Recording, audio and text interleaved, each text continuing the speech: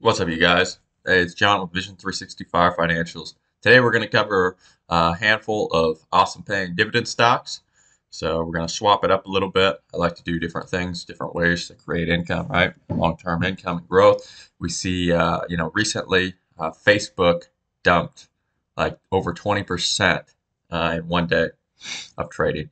And, you know, and then we also have to figure not only did it dump that much, it uh, lost over $200 billion of valuation. So this is why obviously tech stocks are going to get revalued, especially as we go into a bear market, and we're already pretty much in a bear market. So dividends are going to be king besides tax-free IULs. If any of that interests you, subscribe, and I'd really appreciate it. Let's begin. All right, Eversource. So Eversource raises their dividend by 5.8% right? Marking the 22nd year of consecutive annual increases. Eversource Electric Utility, they pay a starting yield of almost a 2.9. They're rated as 88, so a very safe dividend safety uh, score. Also, that dividend growth over, uh, you know, since February of 22 has been about a 5.8. So not bad growth here, guys. And then we see that that starting price is just over $88 as a market cap of just about 30 and a half billion. So nothing like Facebook, also a lot less volatile, definitely not even close to volatile. And we see electric companies are going to be set to really prosper in this bear market and also go in this new decade because of all the new energies and everything else coming online. That being said, the payout ratio is 62% and 61% for that forward going into this year. So that is not bad, guys. Uh, it's well under the 70% that I like to see. And then uh, we also see that, you know, something, another key metric, like I said, it's increased its dividend during the 2008 uh, crisis. So that's very good. So I like to see that even though maybe the sales and everything else was down a little bit, they were able to still stay afloat and be able to raise that dividend. So that speaks to the company. Now we see over the last 20 years, they have raised that dividend by 20%. So 20% is good growth, guys, and that's year over year, and that doesn't even include dividends reinvested. And then what I also like to look at is some of the other metrics. So we see all the different payout ratio, or excuse me, payments that they made. We also see the uh, yield curve over the long term.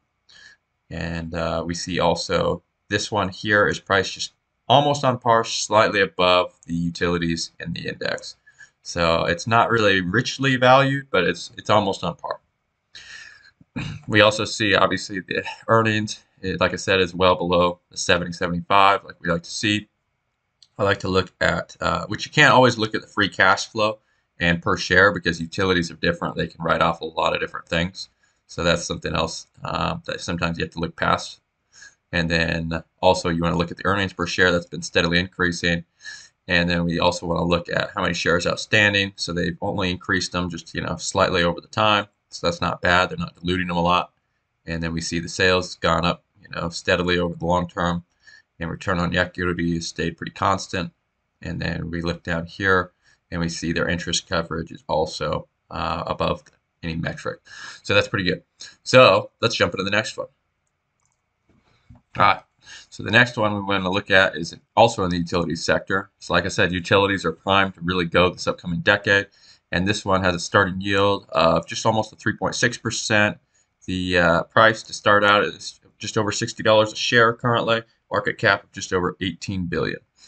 And the dividend safety score was cut a little bit due to uh, you know the recent pandemic and whatnot, so they had to undergo a little bit. Uh, but this one is has a global presence, and so they uh, you know like I said, they have a lot of different uh, partnerships, and they also have a lot of diversification as well throughout. But we see that their payout ratio and forward PE is only 30% for forward PE going into this year, which is very low for master limited partnership. And uh, master limited partnerships also have their tax advantages, um, depending on you know if you use them in a taxable or non-taxable account. And then also we see they maintained their dividend streak during you know 07, 09, uh, still a newer company at that point, though.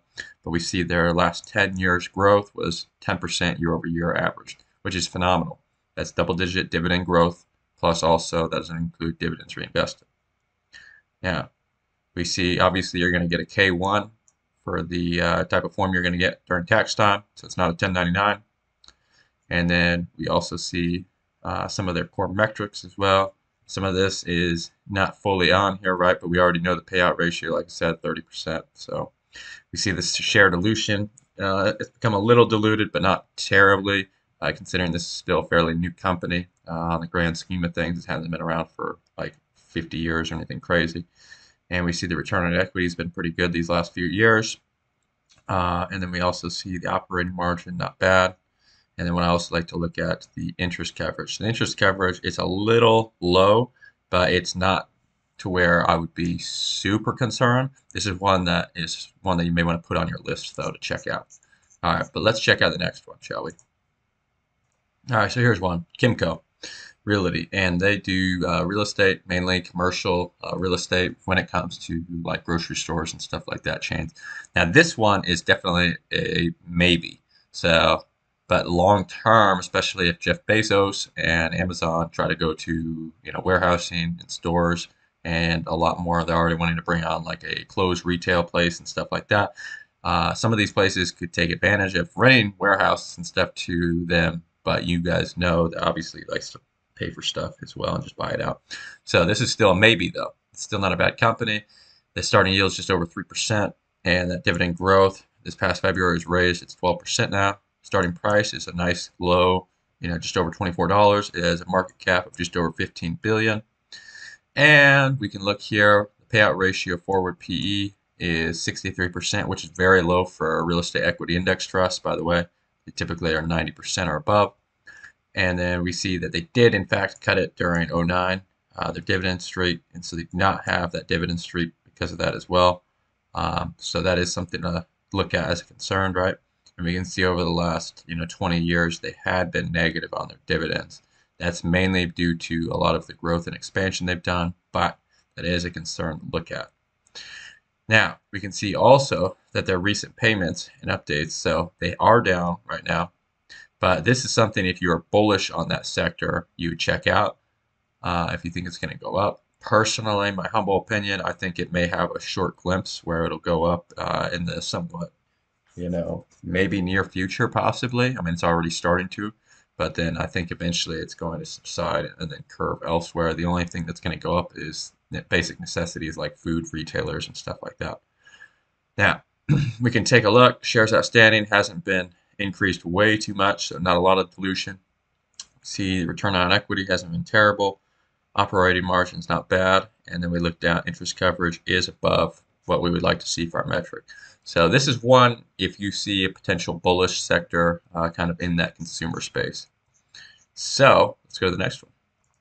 All right, so the next one's called Corning, ticker symbol GLW, and they are in the information technology sector and electronics. So their starting dividend yield is about just over 2.5%. Starting price is almost $43, and that market cap is $35.5 billion. So basically what they do is a bunch of different uh, you know technology stuff pretty much. Uh, and they do that for you know making like the um, the actual material for like the displays for like your screen stuff like that. Uh, so they make a lot of different things like that. And then uh, they also are fairly diverse so they do other things with technology as well. So like making components fine components etc so let's see their metrics though so their forward PE is 46%, which is very low, not bad at all. Dividend growth streak has been maintained for 14 years, and they maintained it during the uh, 08 recession as well. So that's good. You see, over the last 20 years, their dividend uh, growth rate has been 11%, so very phenomenal. And we see the latest one was raised in February of 22 this year uh, by 13%.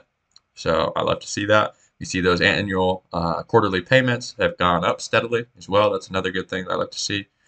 And then we also see that uh, yield curve is not bad. Information technology is about a, a, 20 for price per earnings, but this one is 18.1. So actually, if you buy this one, you're going to get slightly a value. And then we also see, uh, you know, like I said, we already covered the earnings payout, nice below the metric. And we see the earnings per share, uh, you know, steadily increased. And we also see that the shares outstanding, they've been buying back a lot of them. So rather than uh, diluting them, they're actually, if you hold shares, buy shares with them, they're actually, uh, you know, gaining more uh, intrinsic value because they're actually purchasing more back, so there's less dilution. you See their total sales have always uh, continued to go on the up curve.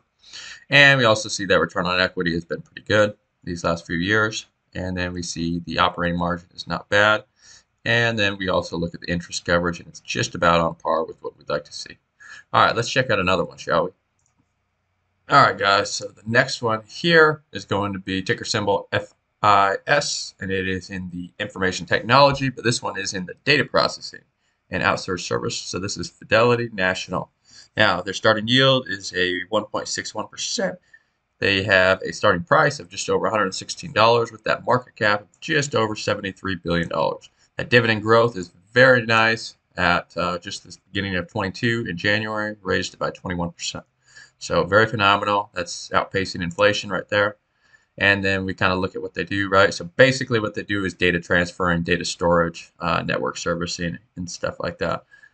We take a look, their payout ratio is very phenomenal. That forward PE is only at 27%, which is very low because uh, they have pretty low upkeep costs as well. So that's another key thing to look at for a good recessionary proof kind of thing. Uh, and obviously, a lot of data is always going to be needed and stored, no matter kind of where the times are at. We see the dividend growth streak has been good for 17 solid years, and it, it was maintained during the 08 crash as well. We see over the last 10 years that dividend growth has averaged a 21% year over year increase, which is very phenomenal, and that does not even include dividends reinvested.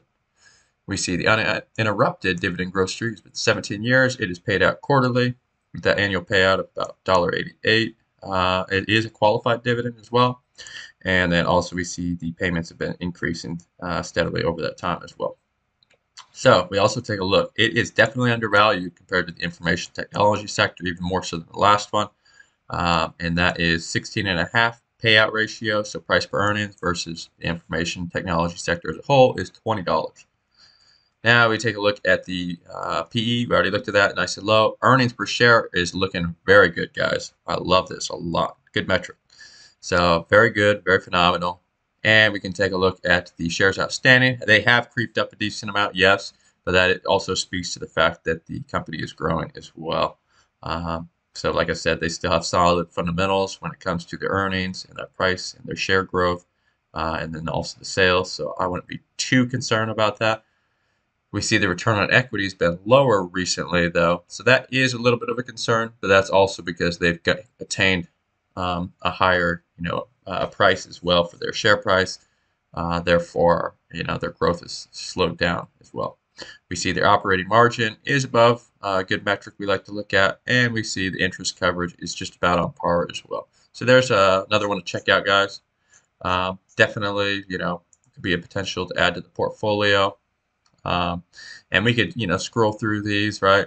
Tractor Supply is a pretty good one as well. Uh, Tractor Supply, obviously, they've been around a lot of places um, across the United States, anyways. They offer, like I said, all kinds of hardware parts, uh, equipment, stuff like that. That's pretty recessionary as well.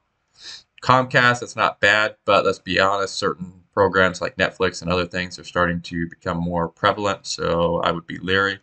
Charles Schwab is not a bad one for investment banking and brokerage. Obviously, that's been around a long time it's going to continue to be around a long time myself. I do not like to keep money in the market directly. That's why I use Index Universal Life. But for dividend stock paying, uh, it is not bad. Like I said, you know, dividend stock paying, it has been maintained a 31 year dividend streak. So this one is an aristocrat. So pretty phenomenal. And they've maintained a very good growth. So you may want to check out Charles Schwab as well uh, maybe to add it. And then Chevron is a good one long term. I think they're they're already trying to pivot into the more renewable sector, and they pay a nice, good, juicy dividend yield as well. And they did a six percent increase in January. Intel is another phenomenal one that's part of the portfolio, and Welltower is another possible one that you may consider looking into. It's in the healthcare sector, uh, specifically in the nursing uh, facility sector. Uh, that being said, um, if you're bullish on that, may check them out. And you may want to check out Anthem as well, which is in managed healthcare as well. And that raised its dividend by 13% recently. So, and they've maintained that payout ever since 2011. So that's also pretty good. Managed healthcare. We know healthcare is not going anywhere. And Kimberly Clark is another great one. And they are now actually a dividend king, 50th year consecutive increase. So very phenomenal, guys. Um, and yeah, so check all those out. I would not check out Wells Fargo. Wells Fargo has been a lot of issues, right? It's had a lot of issues, a lot of lawsuits, stuff like that, a lot of finagling within the company. But that's just my opinion. Uh, but that's you can read that on the headlines as well. Check all those out, guys. Maybe add a few of them to your portfolio. Uh, also, take a look at my portfolio in the description. And I will see you guys next time.